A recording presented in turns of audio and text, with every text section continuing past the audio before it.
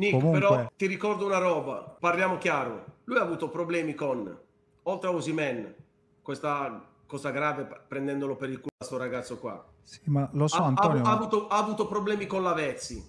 ma si ha dà le avuto- zappe lui sui Aspetta, piedi. ricordiamoci, ha avuto problemi con Gonzalo Higuain. Sì. Lele, te lo ricordi? Certo.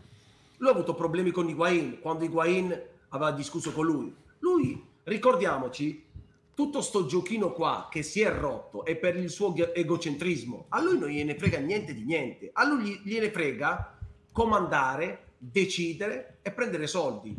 Però Lui così non li prendi i soldi. Se tu fai una, Esatto, una perché cosa lui pensa, naturale, perché lui pensa Poi poi che andrà, andrà da Osimene e gli dirà eh vabbè ok troviamo e ti do 10 cose. Io penso per come si è comportato, ripeto in 40 anni non ho mai visto una roba grave fino a questo punto qua. Io penso che la situazione non si andrà a risolvere. Non si andrà a risolvere, Nick.